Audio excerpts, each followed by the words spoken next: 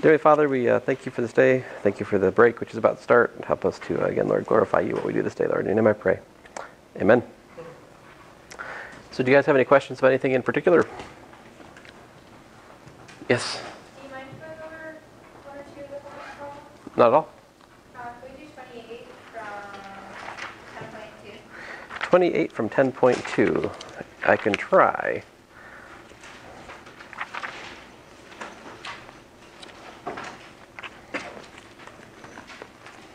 Let's see here.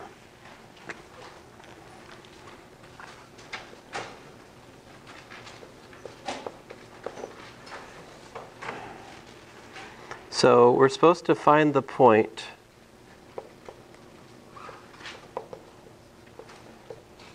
he says r theta symmetric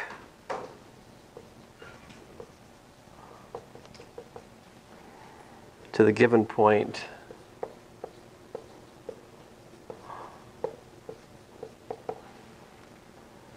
a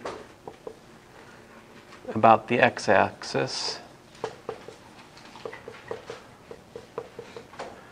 b uh, about the y-axis.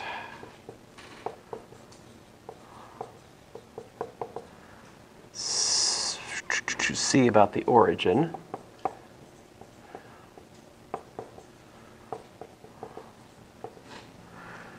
All right, and he wants us to express answer with r greater than 0 and theta an element of 0 to 2 pi not included. All right. So number 28, what's the point we're given here? We have three. Oh, I guess my question is, what does this notation mean?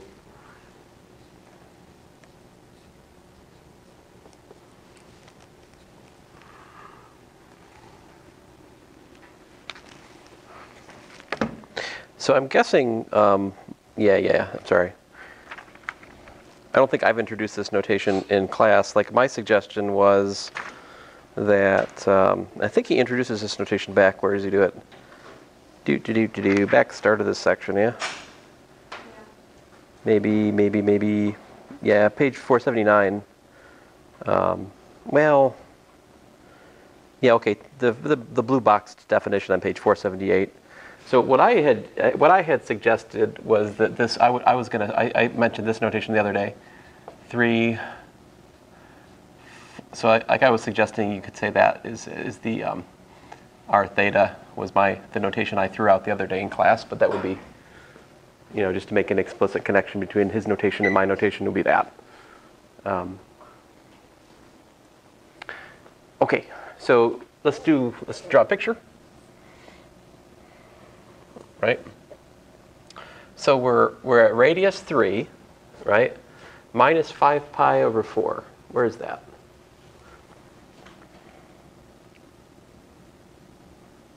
So this, when I think of this, I think of a clockwise rotation. Negative radian, so I sweep in the not counterclockwise. Counterclockwise would go like this, right? So clockwise goes the opposite way. That's, that's, that's a little bit more than pi, right? So I think that would be like, if you want to think about it in terms of emotion, it would be like this, right? So let's see here.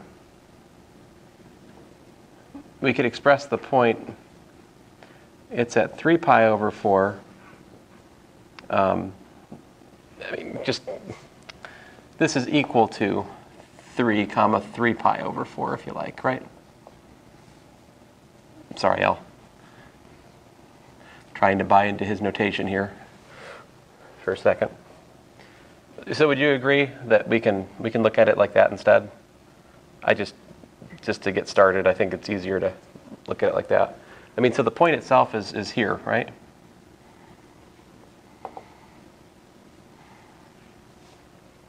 And now we just need to think geometrically, right? So if you reflect that across the y-axis, where do you go?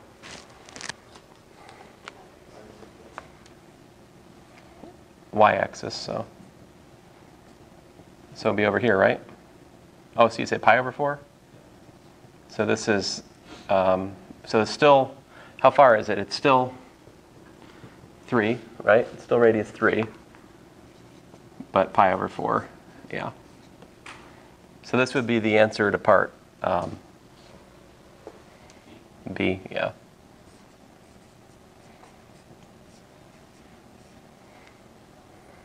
Like, why didn't you do part A first? I don't know. I have no good answer for that. I guess the question you might ask is why on earth did he ask the question like this? I think mostly just to make you guys think about reflecting things across axes again because you get rusty with that idea, you know? So this just throws it back in the mix. Um, I mean, that's one of the goals of homework is to teach you things, right? So, not always things that have been said in class.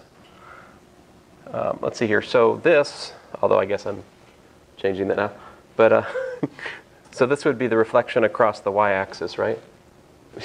x-axis, right? So about the x-axis, and it's still uh, three away, right? And now three pi over four. Oh, well, you could say you got choices, right? Oh, actually, you don't have a choice. Why can't I do this? I mean, I was thinking that to start with, but that doesn't fit the format, right? Yeah, we have to put it in 0 to 2 pi, so geometrically that's equal to, um, yeah, 5 pi over 4 things. So there you go. 3, 5 pi over 4. How about the origin? So the origin, you just basically invert. You take p to minus p, so it just basically flips it over like here. So that would be 3, and then, um, yeah, 7 pi over 4. I was about to say minus pi over 4, but you guys beat me to it. Fine. I'll accept your 7 pi over 4. So.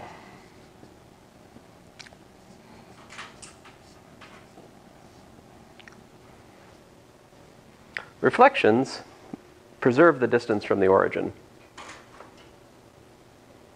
Right? Doesn't change the 3, it just changes the angle. Reflections about the origin, I should say. Right? I mean, so reflections about an axis through the origin or through the origin itself. These sorts of things. But anyway. Um, yep. You have another question?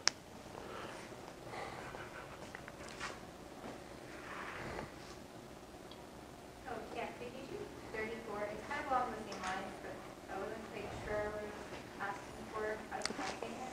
Uh, okay, so here we're looking at r sine theta equals to 1.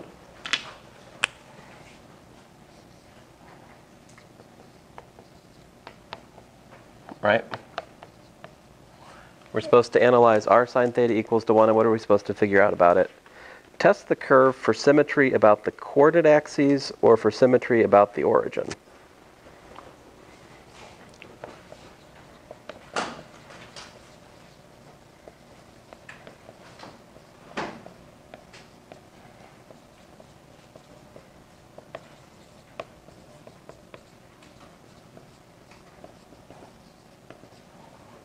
Let's see here. So what would that mean? Like let me let me just throw some examples out for a second. See if we can understand what kind of test we should be looking at. How about this? Here's a parabola, right? y equals x squared. This is symmetric about what?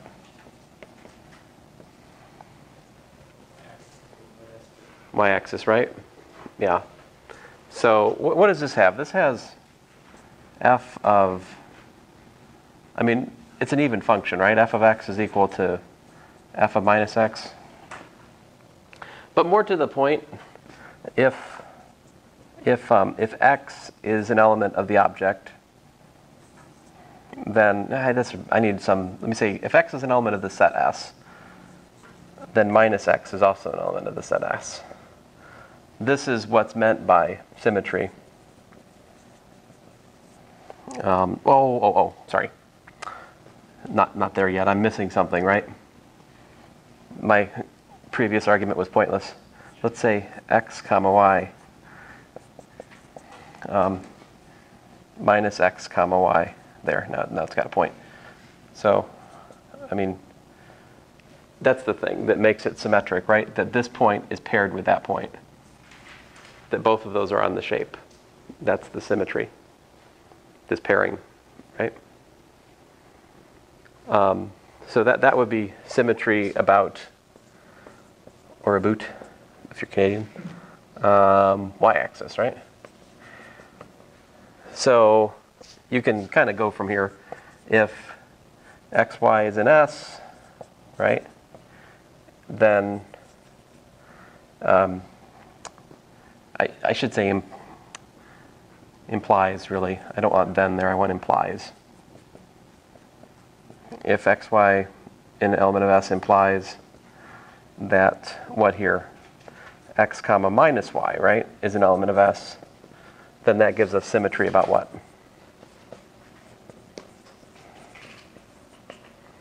x-axis, right? So like, for example, this shape has symmetry about the x-axis.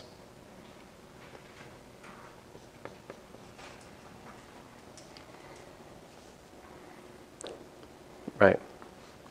Notice that um, if you have the point here, x comma y, then we have the point down here, x comma minus y, right? You have this pairing. That's symmetry about the about the x-axis. What's symmetry through the origin then?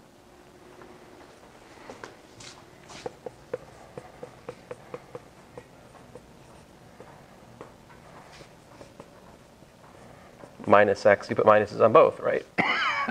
oh man, all of a sudden.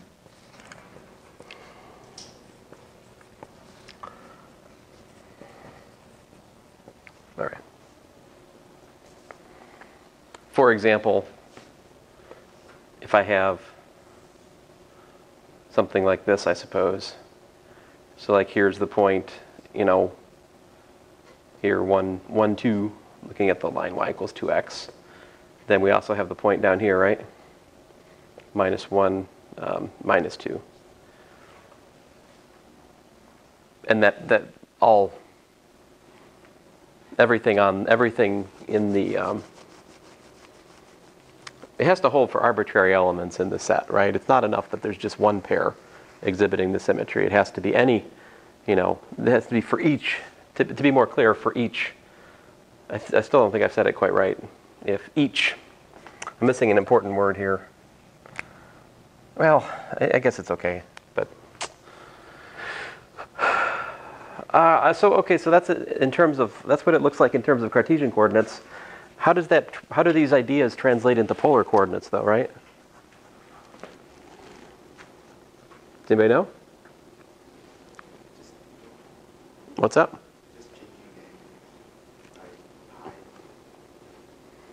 You say just change angles.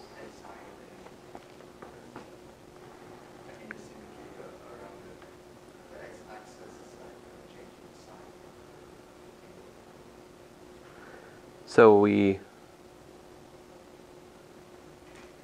Is it just that? If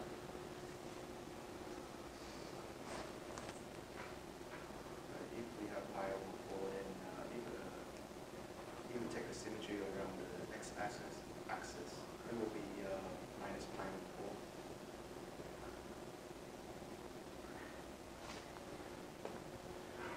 So you're saying x, x-axis symmetry.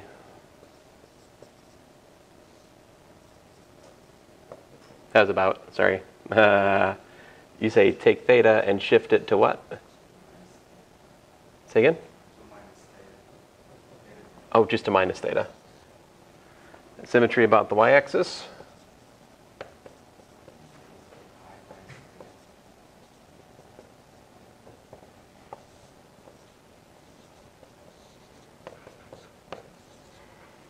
And symmetry about the origin. That one I can do. that one, you just take r and replace it with minus r, right?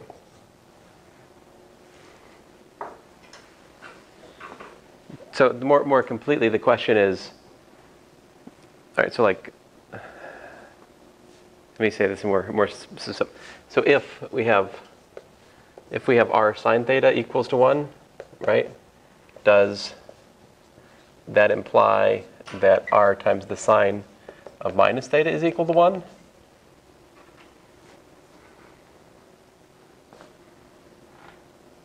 It does not, right? Because if r sine theta is equal to 1, then this, by the fact that sine is odd, gives us minus r sine theta, right? Which is equal to minus 1, of course, which is not equal to 1. So this is, so hence, um, you know, r sine theta equals to 1 is not um, symmetric about what is it? Uh, what we just test for here?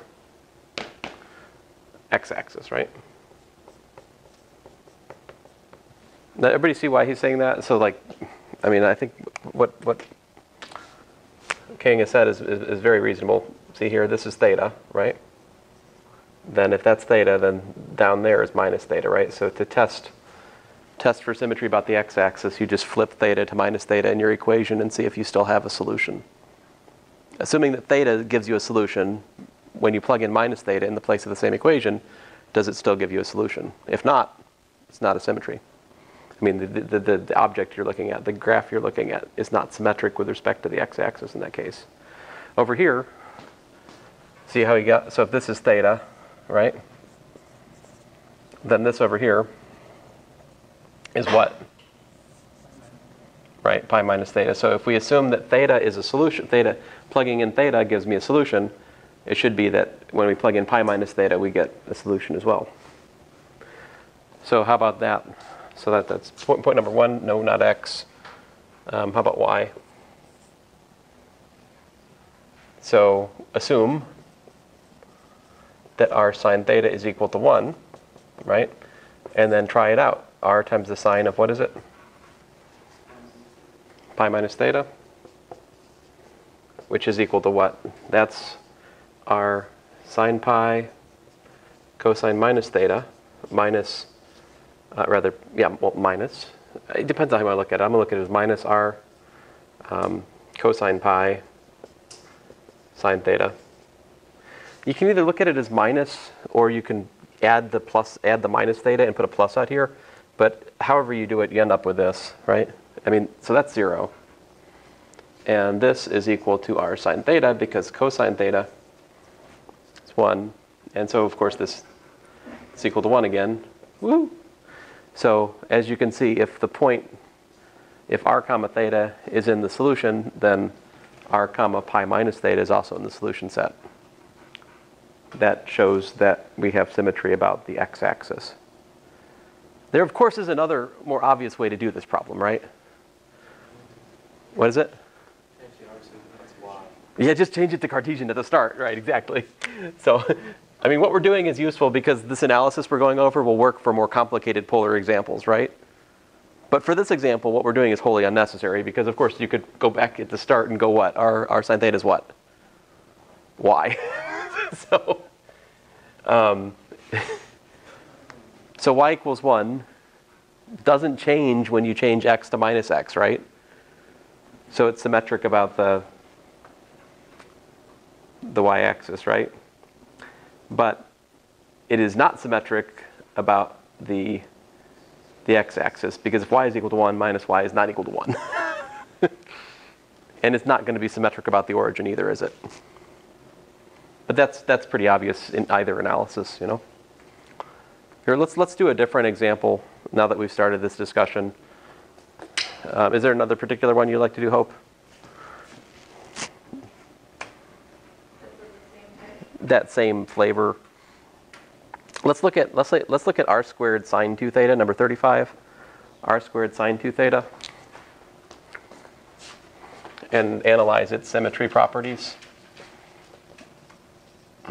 So basically the question is again, does this polar graph, you know, analyze possible symmetries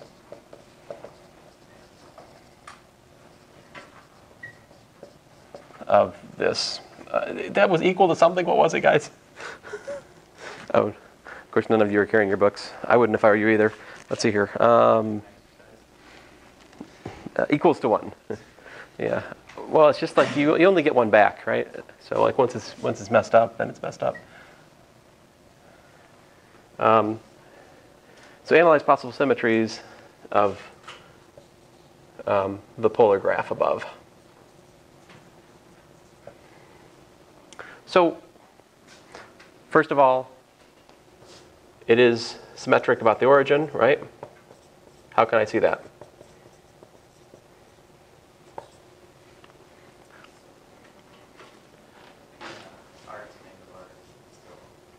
Right, it, it, exactly. If r squared sine 2 theta is equal to 1, that implies that minus r squared sine 2 theta is also equal to 1.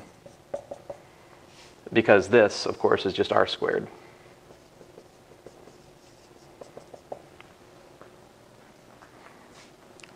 What about the other ones? If you look at, let's see here. Let's see, let's check for um, x-axis symmetry, right? Symmetry about the x-axis. You start writing it like a civilized, ew, yeah. Symmetry about x-axis. So what are we supposed to do? Same thing you did with the last one. Not gonna We trade what? We trade Theta for negative theta. theta for negative theta, all right? So assume r squared sine 2 theta is equal to 1. And consider r squared sine of minus 2 theta. Is that equal to 1? Well, no, that's equal to minus r squared sine of 2 theta because sine is an odd function. So I pull the minus out. That's equal to minus 1, which of course is not equal to 1. Fail. Right? Symmetry about the uh, about the y-axis. How about that one? So we assume r squared sine, sorry, it's getting old, but r squared sine of 2 theta is equal to 1. And then we consider replacing theta with pi minus theta, right?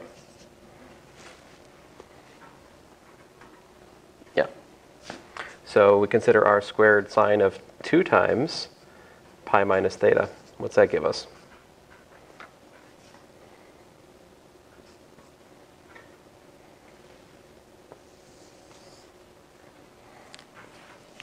Oh, I was hoping that this 2 pi would like get absorbed in the sine, but the thing is we still got that.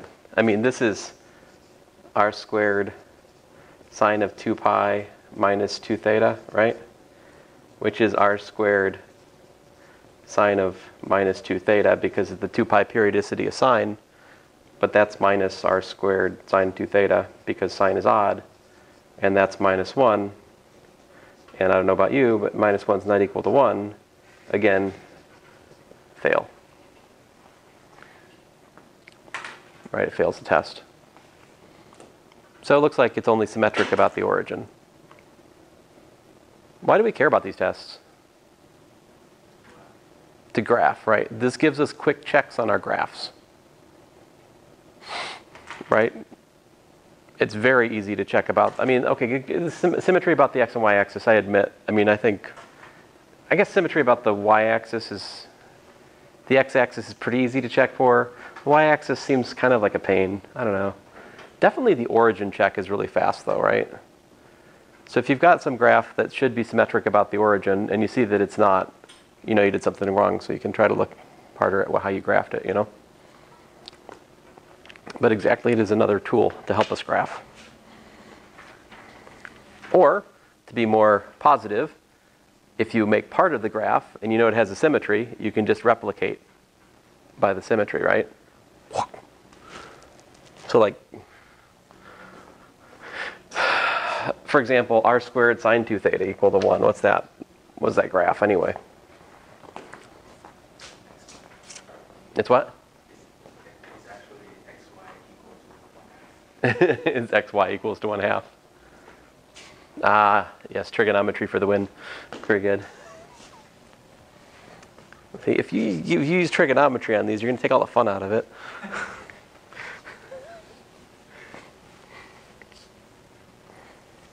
Trigonometry is still kind of fun. Yes, as usual, the more clever solution is the easier one. Um, you, you stole my thunder. I have no way to. now I'm just going to feel silly if I graph it. Fine, I'll feel silly. Um, r squared sine of 2 theta equals to 1. So what he was saying, and it's a very good thought, is that that's really r squared times 1 half sine theta cosine theta equals to 1, aka r cosine theta, r sine theta. In fact, this is probably the best way to graph this, equals to 2, aka x times y equals to 2. So the graph is this, because it's y equals 2, 2 over x. So roughly speaking, it's the hyperbola rotated a bit. This is a hyperbola that opens that way. But maybe you've been taught it's the reciprocal function. Yeah, now that I've done that, I just can't bring myself to graph it in polars. Sorry. Do you have another question? Let me get away from this.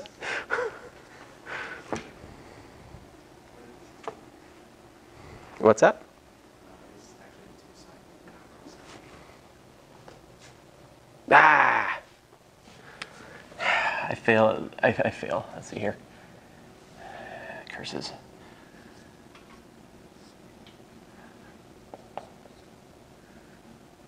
Although to the level of my um, graph, eh. heuristically speaking, same graph, yeah. All right, let's look at an example. You guys don't mind.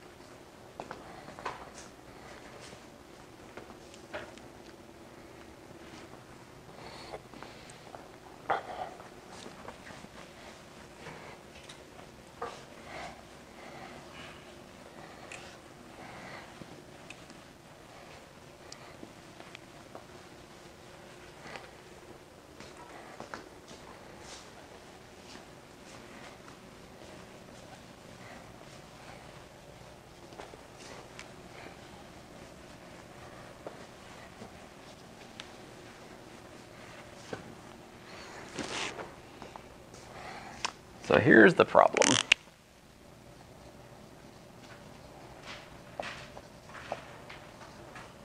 Parameterize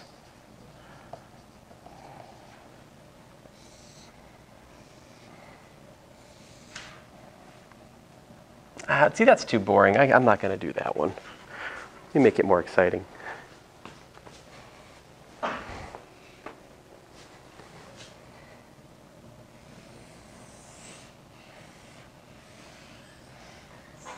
There we go.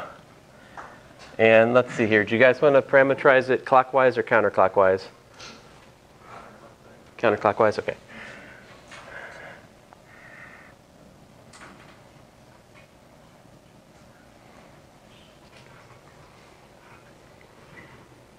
Do you want me to add an I? I could add an I. Okay, I'll add an I. There we go.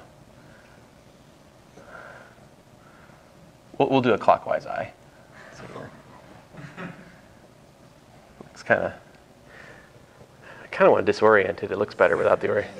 He looks very scary. kind of terrifying. All right, so um, so let's suppose that uh, let's suppose then I'll give you a couple points here. Let's suppose that this point is um, uh, let's say say that's one comma um, I don't know.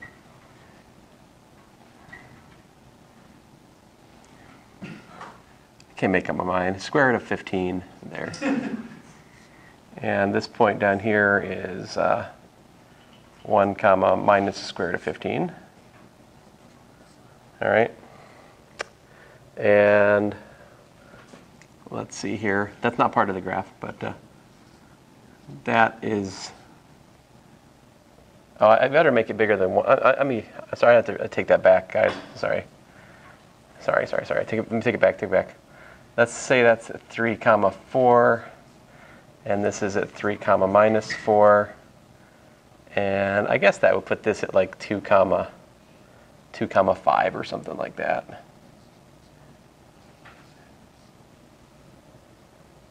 Is that inside the circle though? I'm a little worried. Let me make this bigger. You're like, would you make up your mind already? I will eventually. Sorry, 4 5. um, oh, sorry, 4 2. I know, I'm, I'm very, 4 minus 2. I should, you know, if I had a graph board, I could fix these, I could make up my mind easier, but. All right, so now I'm assuming that the, um, let's say the eye has radius 1 half, all right? And I'm also assuming that um, that's the origin, yeah.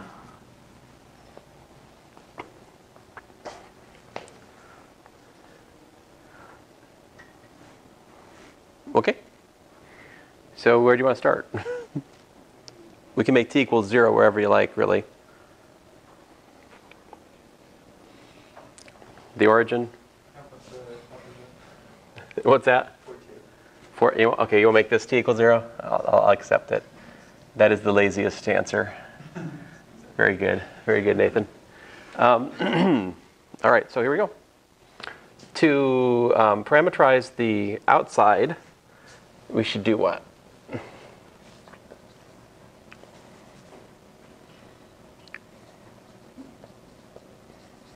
Outside circle.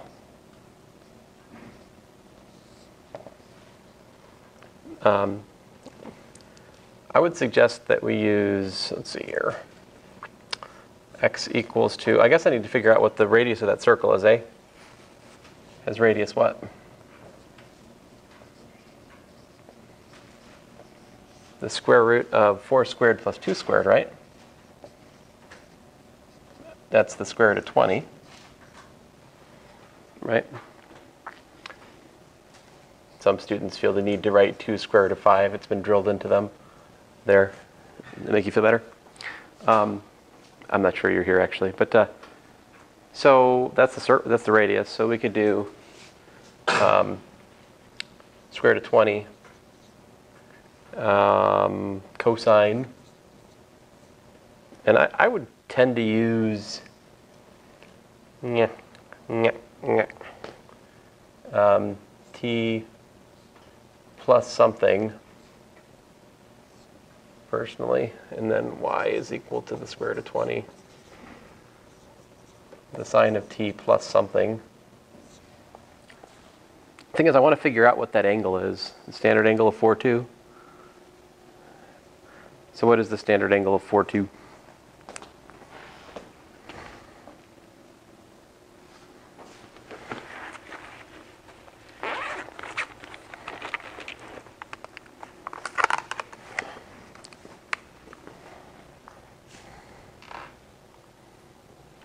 So 2 divided by 4. In terms of degrees, it's 26.56 degrees, but I kind of want radians, so let me, oops, get me out of there.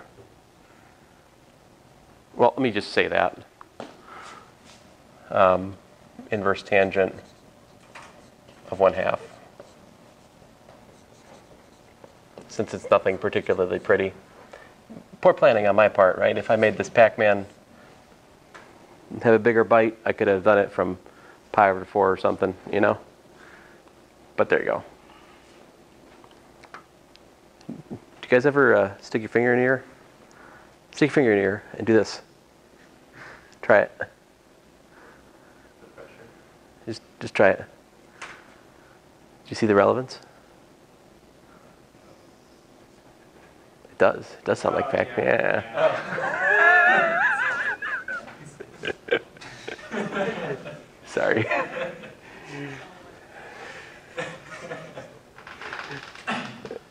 Hee hee. Um, okay, and this is for, zero, zero, zero less than or equal to t less than or equal to, see, and if, if I, I have angular speed one, right? So basically this is, I, I need this to sweep from here over to here with my formulas. Basically, I want it to go all the way, almost 2 pi, right? But not, not quite 2 pi. Want it 2 pi less twice this angle we just found, right? So this angle is the inverse tangent of 1 half. So I can just do for 0 less than or equal to t less than or equal to 2 pi minus twice that inverse tangent. Does that make sense? In terms of the, that will get me from our starting point at the upper lip all the way around back down here, back to the business end of Pac-Man. Let's see here. Now we got to get this next, the line. I should use some color coding here. Let me say the blue line. How can you parameterize this blue line?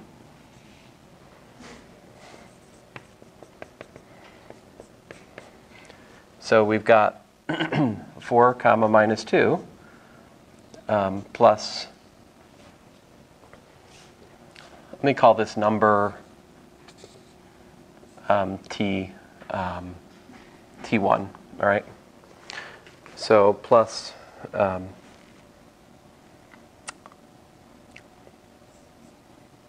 t minus t1, all right?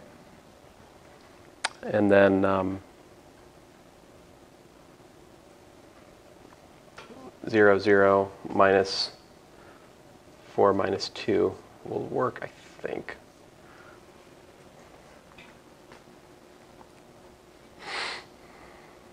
Let me rewrite. Oh, I'm sorry. I, I have, um, I'm misbehaving here. I'm, I'm writing the vector parameterization. So in other words, x is equal to 4 plus t minus t1 times 4, so minus 4 minus, um, oh man, 4 minus 4 times t minus t1, and y is equal to minus 2 minus, well, plus 2 times t minus t1.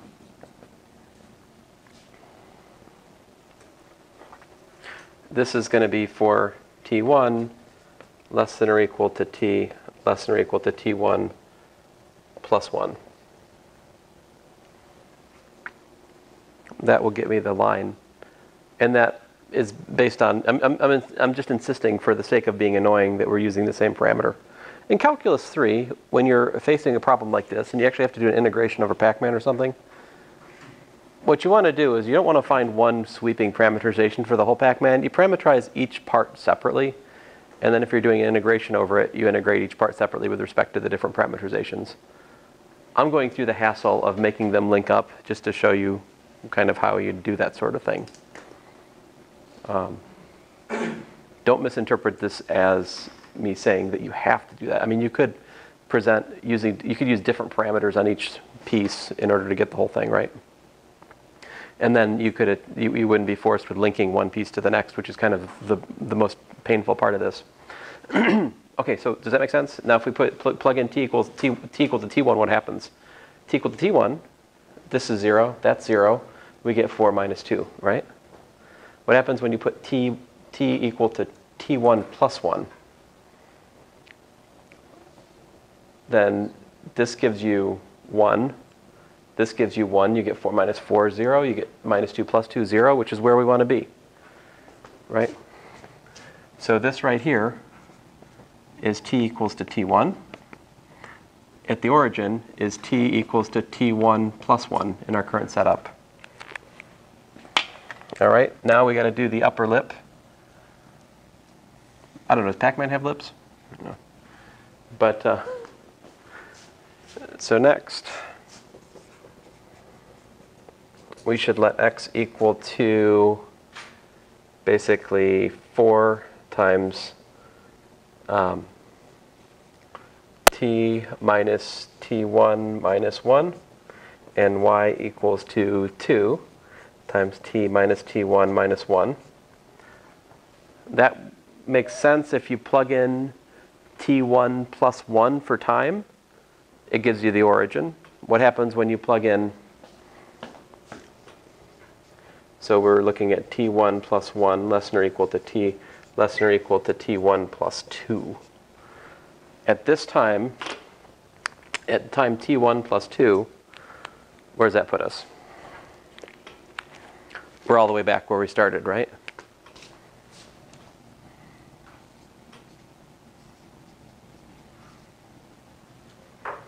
So we've, we've, we've come full, full Pac-Man, right? And so all I'm doing is I'm just using the different pieces we've looked at, right? And I'm just putting them together.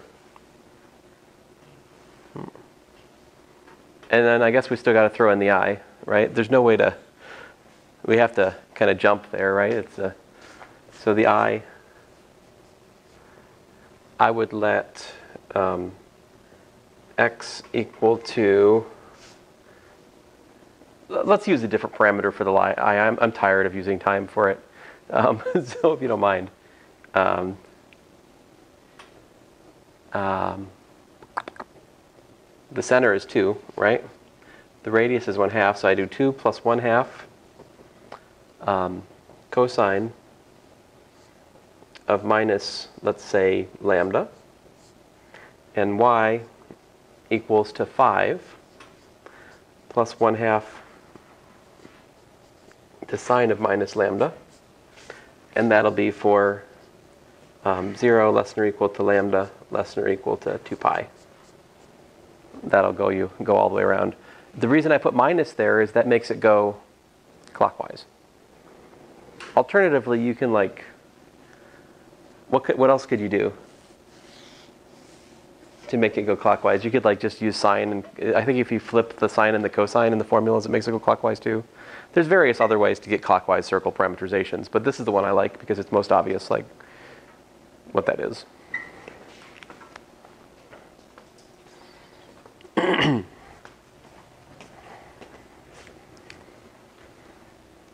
So if you get your name, get your piece of paper out, write your name at the top, and say, yes, we did have class the day before break, it'll be worth some points to you.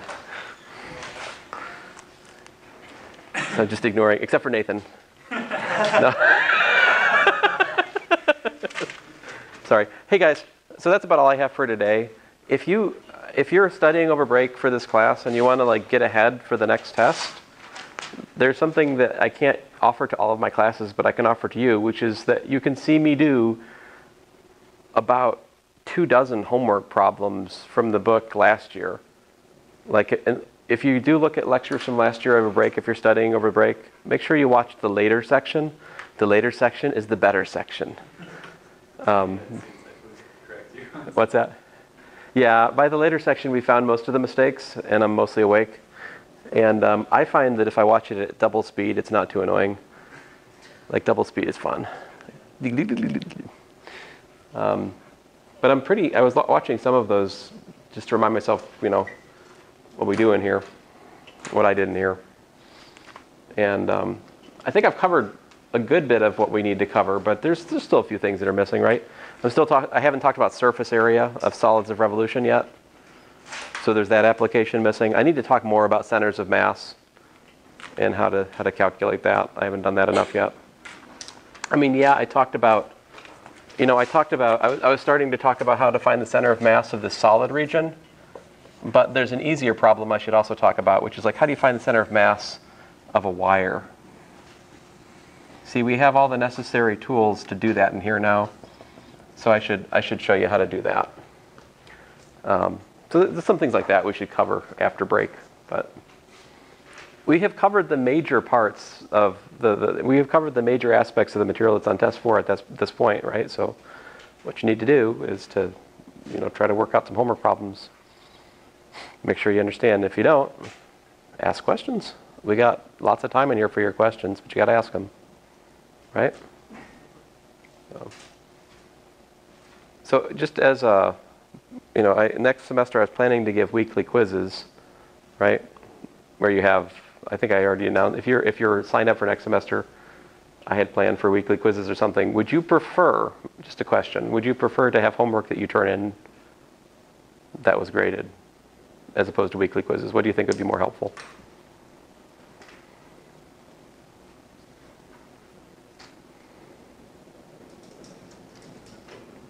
Don't have, a- don't have a firm opinion on it one way or the other? All right. Calc 3. Yeah, I'm actually talking about some of your futures. Not,